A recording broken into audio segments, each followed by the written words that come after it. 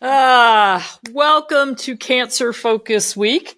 Um, today, I'm really lucky to have as my guest Dr. Laurie Coger, and uh, she's if you've never gotten the opportunity to meet her in person or hear her speak, you should because she is a wealth of information. And I'm very grateful that you have agreed to take time out of your day to be here and talk about the important subject of spay neuter um, in the context of cancer, but also in the context of some other things. Absolutely. It's one of my favorite topics. Really? Absolutely. I'm, you know, let's let's just put it out there. I am all for leaving our dogs as nature intended as much as possible. Yeah, I, I agree. You know, I, I feel like kind of with ourselves and with their animals, everything that's going wrong is because we've kind of screwed up mother nature. Like we all these environmental toxins and pollutants mm-hmm. and plastics and just like so and, and then ripping out body parts and injecting things that we shouldn't be injecting. 200% yeah i mean it's just well, and, and, I mean, we can extend this to food, which is also one of our favorite topics. Uh, yeah. Why yeah. do humans feel this need to make it more convenient, make it more, you know, human friendly, and lose our respect for the integrity of our dogs and cats' bodies? Exactly. And, you know, a lot of it, I guess we could put down to, oh, well, we're so busy. We're running around. We've got careers and jobs and this and that and the other thing. But, you know, think about our ancestors who were forging their way across the country in a wagon and then trying to chisel out in rocky desert soil little tiny gardens. Like those people worked from four in the morning until midnight. Come on. yeah, yeah. They were the reason for daylight savings time, right? I mean, they they changed the clock so that they would have more working daylight hours. Exactly. You know, so, we we don't own the market of being busy. And I mean, even the school year revolves around harvest season, Correct. planting and harvest and hunting. Like I grew up in southern New Jersey and I know everybody thinks, where are we digressing already? Yeah. Everybody thinks of New Jersey as the armpit of New York City, that it's just city and pollution and smog and smoke. Mm-hmm. But it's also called the Garden State. And so I grew up in southern New Jersey, which is all farmland, very, very rural. Yeah. And the first day of hunting season, the class in high school, those classrooms were empty. Mm-hmm. because everybody was out hunting. And when it came time for harvesting or planting, half the kids in the school were farm kids. And by the time right. you got to high school, you were helping on the farm. It's like, yeah, I got to miss some classes today because we got, you know, this, that, or the other thing that's yeah. time sensitive. So yeah, we, we've totally gotten away from all of that. Yeah. And Southern, no, we, we, Southern New Jersey guys, in case you haven't been there is beautiful. It is. It is beautiful really beautiful. It is not urban. It is not city. it is not any of your preconceived notions. Exactly. That's what everybody says. You know, when you you say you're from Jersey, everybody says what exit. Well, they're talking about the Garden State Parkway, which goes up the east side of the state, which does go through the armpit sure. of New York, but that's not where we were. anyway, yeah, we are really off topic. So now you happen to have a bunch of intact dogs at your house, correct? I do. I have currently I have four Australian shepherds of my own breeding. Every dog I own at this moment has been born in my house. Aw. In and in some cases by my hands because we did a C section. Oh jeez. Um yeah, talk stress. C section your own. And when I say bitch, I am respectfully referring to the correct term for an intact female, female, dog. dog. try span- try C sectioning your own bitch at five in the morning. Talk about pressure. But anyway, everything has gone well. So, yes, at the moment, I have three intact girls and one almost 13 year old neutered boy. Neutered. Okay. And he and was neutered. When was he neutered? At three years of age. And, and I generally, I don't, I'm not sure what you do, Judy. I kind of categorize spay neuter by three ages. There's pediatric, there's pre puberty, and there's mature. So I would classify Puck as a mature neuter done at three years of age. I agree. Yeah, the pediatrics are the ones that are really scary and yes. really the worst in my opinion. And that could um, be anywhere from eight weeks of age to I would I would probably go to sixteen weeks. Would I would consider pediatric. Yeah, I, I would agree. Um, it's it's basically when we're trying to do them before they go into their first heat, which is what we have taught for. Oh my gosh, yes. We yes. have convinced. Well, the vet schools have, have convinced all the veterinarians, all the you know the new new and old graduates. They've convinced everybody. Oh, you got to say them before they go into heat. Mm-hmm. And we have done such a good job over the past fifty years, banging that into people's heads that people automatically assume that six months is the correct age for spay and neuter. Mm-hmm. But now we have all these great studies. Yeah. Now, now we know. And we know. the so, rescue groups have taken it even further beyond, you know, prior to their first heat, which I would consider, you know, that's the six month, that's the pre puberty. They want to do them pediatric. They want them before they adopt out mm-hmm. a kitten that might not even weigh two pounds. Yeah, that they was our cutoff for the shelter. They had to yeah. weigh two pounds. So if they came in at one pound, 14 ounces, they got sent back to the shelter for another week. Yeah. Uh, when I worked which at the stinks. shelter, which I did for about five years, they had me doing a pound and a half kittens, which is essentially six weeks of age. Yeah. And, you know, what a disservice to those individuals to rip their hormones from them during such a critical phase, during yeah. growth, during skeletal matur- maturation, during, you know, cognitive development. Yeah. Not a good idea. But I understand the rescue group's focus on not producing more rescue animals. I, yeah, I, I understand it too. And our local shelter that we did all the work for, um, they used to do it where people prepaid for their spay and neuter, and they mm-hmm. were supposed to then you know adopt them and then take them to their vet when they hit six, seven months right. of age. Um, before they went into their first heat, I mean, they were still pushing that, but at least they weren't getting done at eight weeks of age. Mm-hmm. Uh, and when they looked back at the records over a 10 year period, they found that only 33% of the people actually got them spayed and neutered. And so yeah. when you, you look at how irresponsible people are, um, and we the shelter was just you know it was constant reruns mm-hmm. yeah i adopted this dog now i want to turn in her puppies um, and if they, if somebody came in with puppies then they would take the puppies but only if the parents were then right. spayed and neutered and so they had right. to get that done but still it's um, so we have in the past I'd say decade, maybe. I don't know when the, the golden retriever and the Rottweiler studies. Uh, yeah, yeah, within within the decade, I think. Yeah, the money. I think it's it's getting close to that old now. Um, but there were great studies done in the golden retrievers and the Rottweilers, which partly because there's a very large population of both of those mm-hmm. breeds, mm-hmm. and there's a lot of them in the show ring. And so when they're in the show ring and they're showing for conformation, they have to be intact, right? I'm not a show correct, person, but they have in, to be in conformation, not in performance events. Right. Right. So, so that meant that there was a huge pool of dogs that they could look at because we have, you know, there's golden right. retrievers are there's a lot of them. There's a there's a yeah. lot of Rottweilers. So I don't go to dog shows very often. I used to speak at them and have uh, booths at them, um, you know, so I could kind of see what was going on. And so you get these, you know, I don't want to say weird breeds, but smaller breed groups where less, there's a less couple common, of dogs. Less common breeds. Yeah. Less common breeds. So you've got a few dogs in the ring versus, hey, here comes the golden retriever class. Yeah, there's, there's 100 an, dogs. yeah, there's an entry of 132 golden retrievers. Right. They'll be so, they'll be going on all morning over in ring right. 3. But it's a it's a it was a great way to be able to really get good data on look, here's 100 spayed females here's 100 neutered males. Here's mm-hmm. 100 intact females 100 intact males. Let's look at average lifespan. And, and there's a lot of breeders because there's so many dogs in the ring. Right. Um, it gave them a really good pool to be able to to work with to to get their stats. So are there any other breed studies that you know of? Uh, the vizsla study on temperament is the oh, other one that comes to mind I knew there was a Vizsla study. So was that um, looking at temperament in relation to spay neuter? In relation to spay neuter, in relation to aggression.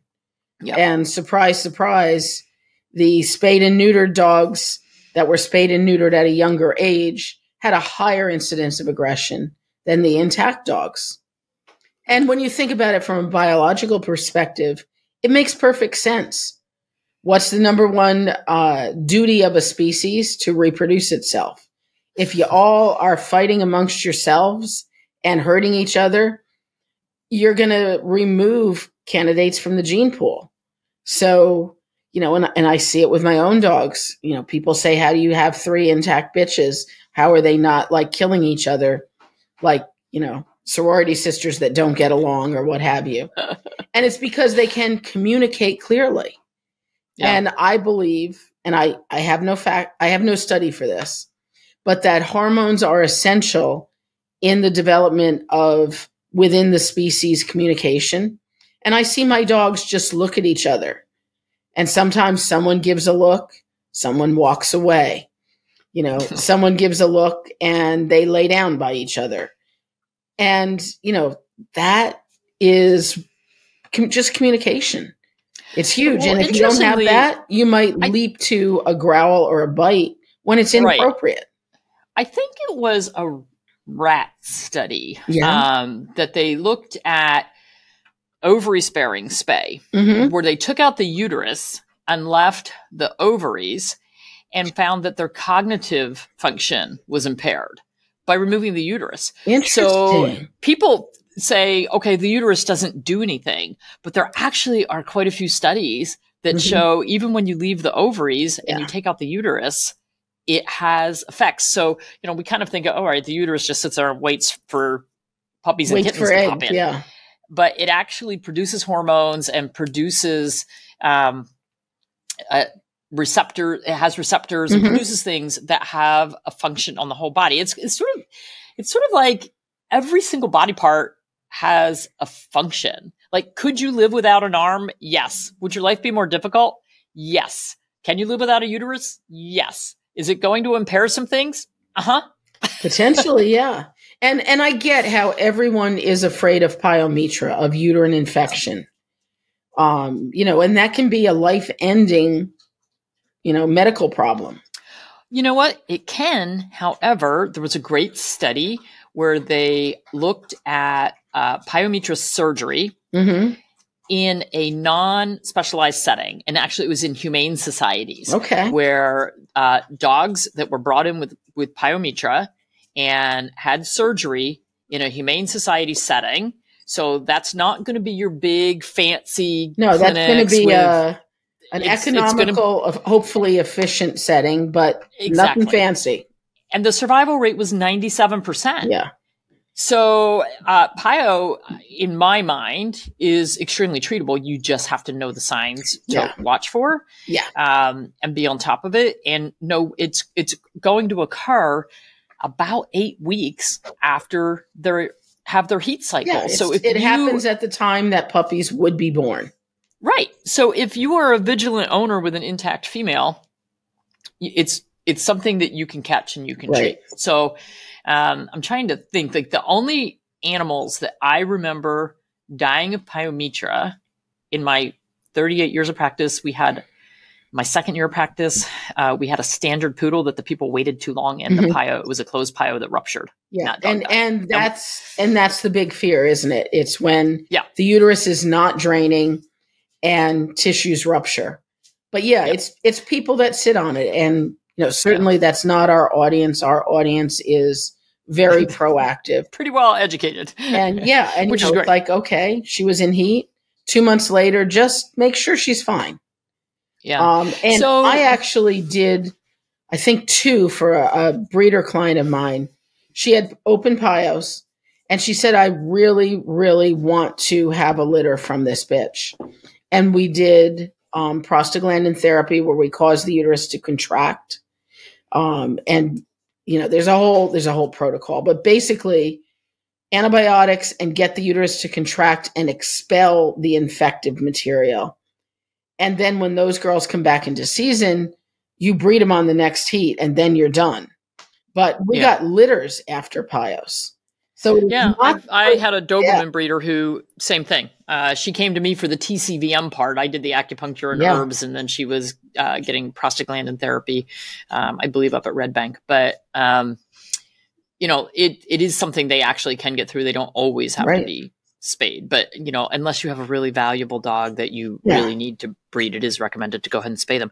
So, with your own dogs, are these the first females that you've had that you're leaving intact long term, or no. have you had others? No. Um, when did I get?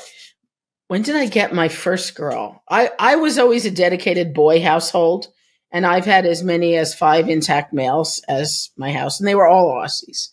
Um, my first girl, whose name was Flit, prop wash damselfly, uh, came to me. Mm, probably pre late 90s, I'll say and um, she was wonderful, of course, and had uh, she lived to the eight, the ripe old age of six.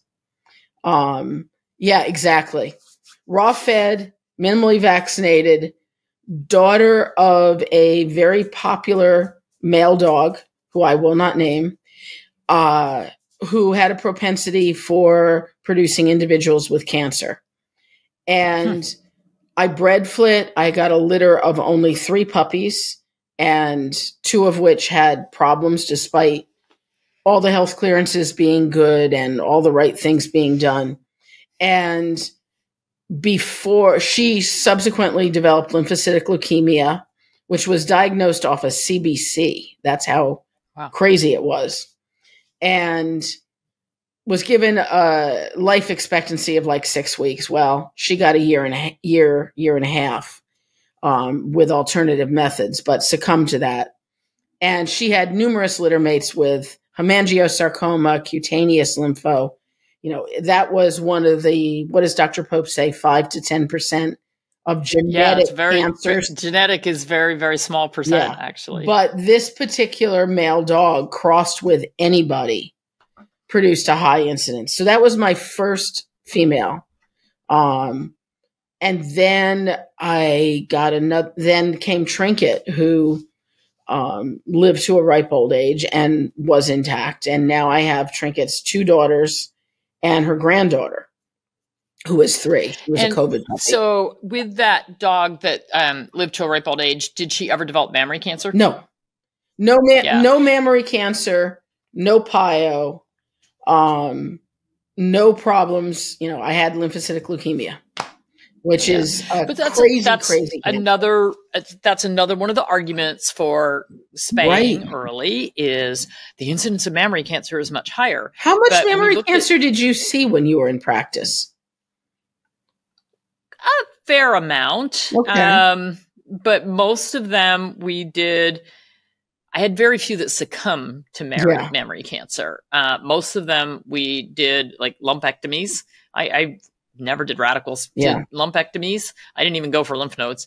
Um, and then we would use uh, herbs, natural method, vitamin, yeah. you know, therapy, and that sort I mean, of thing. And I they always did well. I've I've certainly done a few where there was there were one or two glands affected. So yeah, a lumpectomy, a lumpectomy, a double, a triple.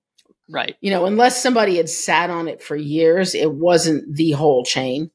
And again, right. if you're listening, be proactive. Don't sit yeah, on things. Lump, but mammary cancer is not my first worry with intact girls mm-hmm. at all.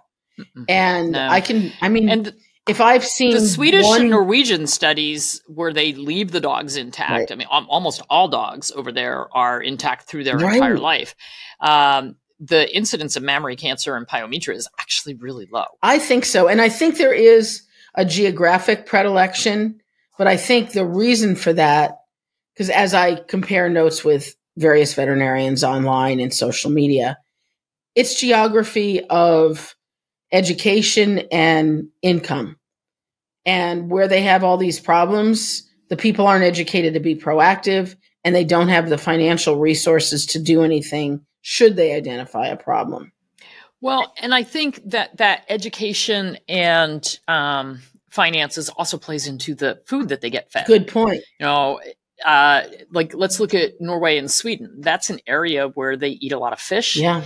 And so the diets of those dogs are probably really high in omega 3s. Mm-hmm. Um, I find that a lot of people that I talk to uh, through social media and emails uh, from those areas are feeding very healthy diets. Um, I think if we look at where the big pet food companies have come in and brought their preservatives and their poor quality foods, mm-hmm. uh, it's sort of like the countries like in Central and South America, the Caribbean, where they didn't have processed food and they didn't have soda or pop, mm-hmm. whatever we want to call it. They, they, didn't have things with a lot of high fructose corn syrup right. and a lot of preservatives and a lot of salt. They were eating what they grew and caught. And the animals were also eating the native foods. And as soon as, like, there are great books on this topic. It, when you look at when the, like, things progressed and they they got grocery stores in that had all these preserved convenience foods, convenience foods. All of a sudden, the health of the population, mm-hmm. both human and animal, takes a nosedive. Right. well, and I will say obesity becomes a bigger problem. Yep. You know, high blood pressure becomes a problem. Diabetes becomes a problem where that really wasn't something that the native populations had an issue with until this stuff gets brought in. Mm-hmm. So I, I think that plays a big part in it. And we are so far off topic. Oh my gosh. Um, yeah. So, so, yeah, I can't so say like that mammary cancer stuff. Yeah. Like mammary cancer was not, um, a reason to jump into. But you know what was, and it is the biggest misconception out there is prostatic cancer. Mm-hmm. You must neuter your dog or he's going to get prostatic cancer. I call Except that prostate cancer oh, is more common in neutered dogs. Correct. And my colleagues do not know this. And I did have a male dog with prostatic cancer diagnosed at about age 11 um, with liver mets. And he lived a normal lifespan way beyond. We, we assume it was a prostatic adenocarcinoma based on the ultrasound finding calcified tissue in his prostate. Calcified tissue. Um, lived a couple years post diagnosis, again with natural methods, and I credit mushrooms. His liver mets never grew beyond the size at which they were diagnosed, which you find you find me conventional chemo that can do that. Um, but exactly. that's the that is the only case of prostatic cancer I've ever run into in 30 yeah, years of practice. I don't think I ever had a case of pro- yeah. uh, prostatic cancer. Uh, benign hypertrophy, of like course. an enlarged prostate, we saw that a lot. Yeah um, again, dealt with it. Uh, you know, I, I may have had a vet colleague friend. But it is it is not common, cancer. and Mm-mm. statistically, you're going to see it in neutered dogs, not yep. intact ones. Right, and then there's the argument for testicular cancer. Testicular cancer is have you ever seen almost a case? always I, well, I saw quite a few, but they were always benign. It's like Sertoli cell tumor. Yeah. I, know, I have benign. never seen a case. I've seen testicular atrophy, oh. but never oh, a cancer. No no, I've gotten them, but they were always a ben, like yeah. a benign cancer. They're not going to go anywhere. Right. So all of a sudden, it's like, oh, I've got this big testicle. Okay, well, we're we're going to remove mm-hmm. the big testicle. Sure. Um, and but the, I've never, I never in 38 years of practice saw a testicular cancer that spread or, caused right. any issues. It's always localized to one testicle. Of course, when you neuter them, you, you take usually both, take sure. both. Um, but never uh, had a metastatic no. cancer. Um, so I think that's a bad argument as well. Yeah, I, I completely agree. and I think I think um, the only crazy thing that I've had clients say is they had their dog at the park and it might be a short coated breed on a hot summer day and you could see that the dog was not neutered and they got shamed at the at the park for having an unneutered dog on a leash mind well, you it's crazy we have the other problem because of lack of education yeah. of uh, not being able to bring your dogs to daycare, right. not being able to bring your dogs to boarding. Oh I mean, I can understand if you have a female and heat taking her to a daycare situation, dog play dates, probably you, you got to stay home for a little bit. Um, but you know, that's no different than if your kids are sick, you keep them home for. Well, and, uh, you know, oh my God, stand back. It's an unneutered male. I mean, we encounter, we encounter unneutered males on a daily basis in the human species. you know, let's, let's be real, but I, I hear you. Daycare, if it's over six months of age, it's got to be spayed or neutered to come to our facility. Yeah. Right. And dog parks and those sorts yeah. of things. And so, I mean, it's one of those, it's, it's just like, educating daycares, uh, boarding facilities, veterinarians uh, on the difference between vaccinating every year and having a titer that says mm-hmm. they're they're protected. Yeah, the vaccine works. Um, I think. Yeah, I think it's uh, the same thing with spay and neuter that it's going to require this whole education. It's a paradigm again. shift for these people because yeah. they've been yeah. and and I got the mythology when I was in vet school spay or neuter by six months, do this, do this, vaccinate twice a year if you're going to dog shows. I mean, it was what we believed then. And it's yeah. hard to learn something new and replace that thinking. It is. It is. And unfortunately, the vet schools are not replacing not as, not as progressive as we might like. But, you know, studies like, like Dr. Chris Zink is one of my favorites.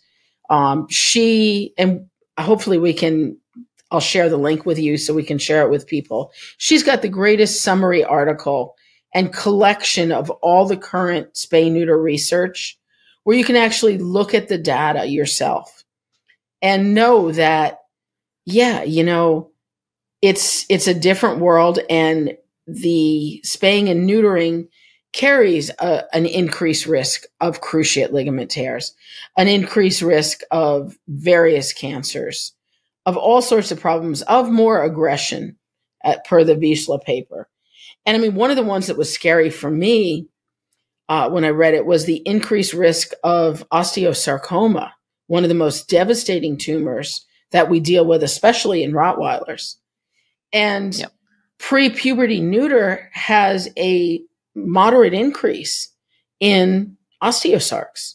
And she only classifies things mild, moderate, you know, marked. But that's huge. Yeah, that's huge. It is. I mean, I, I, they have pretty good proof. Uh, hemangiosarcoma, osteosarcoma, um, was mast cell tumor on the list. Mast cell well? tumors on the list. Um, you know, the mammary tumors we already talked about, but um, you know, a lot of the immune mediated things. It's not just cancer. It's kind of the paraneoplastic, immune mediated hemolytic anemia immune mediated thrombocytopenia, where the dog's going to destroy their own platelets. Hypothyroidism. I mean, how many hypothyroid Goldens have we seen between us? well, and it's interesting because whenever I would spay or neuter a large breed dog, uh, even uh, mature dogs. So sure. people would wait till four years old or they're done breeding right. and they want to go ahead and get them spayed. I would monitor the thyroid levels because nine times out of 10, within six months, they're hypothyroid. Yeah. yeah. Um, you know, and it's just the, the ovaries and the testes, and I'm going to classify the uterus as one mm-hmm. of these hormonal uh, glands as well. Um, they, they, don't function by themselves. They're part of the endocrine system. So it's the thyroid, the pineal, the pituitary. Right. Everything talks to everything thymus. else. Right. And so when you take one big piece of the puzzle away, again, if you lose a limb, the other three limbs are going to have to pick up the slack. Pick up the slack. so, and and I think that's part of the reason um, Cushing's disease, yeah. where the adrenal glands, uh, you know, and Addison's disease. I it's the adrenal glands are kind of like I don't know whether to make more, make less, mm-hmm. or I just I give up. Yeah, a vital um, information source feedback loop for them is missing. And I, I find it very interesting that in Dr. Oberbauer's study, spayed females were the most affected uh, compared to, you know, intact animals and neutered males. It's like there's something about removing the sources of estrogen and related female hormones that really hits the body hard. And when you think about the pet population, depending on your geography. Everybody wants to spay the girls. They'll leave the males intact in, you know, John Q. Public's hands because she's they're not causing trouble. They're lifting their leg on the tree. But oh my God, the female's bleeding in the house. We can't have this. And the females have higher risks of all these immune mediated diseases, as well as the cancers once you rip their uterus out and ovaries. Yeah. Yep. And let me just say, uh, right now I have two neutered boys and an intact boy. Uh, the neutered boys came to me that way, so I right. had no say in that matter. The intact boy came to me as a puppy intact, and so he's still intact. Everybody lifts their leg. I don't care if you're neutered, not neutered. It, it's a leg lifting fiesta. Mm-hmm. you know, so if you have a dog that is marking and you think that neutering them is going to stop that behavior, uh-uh. It is a behavior. It's marking. Again, I have this quote where I say, we invite dogs to and cats to live in our world, and then we expect them to not do dog and cat things. yeah, it's crazy. And for me, it's like it's a training issue. I have intact male dogs. They do not lift their leg in my house. And actually, Puck, my oldest, he has never lifted his leg, which is. You're a much better trainer than well, I am. But I, I already knew that. it's the it's the same thing we preach. Be proactive. I know it's going to rear its head at some point, and I am incredibly prepared to make that the last time. So, you know, they they don't have too much freedom early on. I never let it get established, but you know, I come to it knowing how important it is to me. And yeah. I mean, Puck just has never lifted his leg. You know, he's a powerhouse dog. He's full of drive. He could go herd 50 cattle without even thinking about it. But he's a squatter. It's a gift. and that's fine. And you know what? I've had females that are sure. markers. Our first Cavalier, which was Gwen's dog. Oh my gosh, what a marker that and she didn't mark in the house but we go for a walk. She'd have to stop every three feet to mm-hmm. mark something. So yeah. it's just amazing. So yeah. you know it's i think it's more of an individual personality I, I thing. but anyway we're off the we're, we're totally yeah how are we doing this? Um i don't know. I it just keeps going. But the bottom line is that we know for a fact now there haven't been enough studies done in small breeds mm-hmm. because there was a big article that came out I think it was in like veterinary practice mm-hmm. news or something.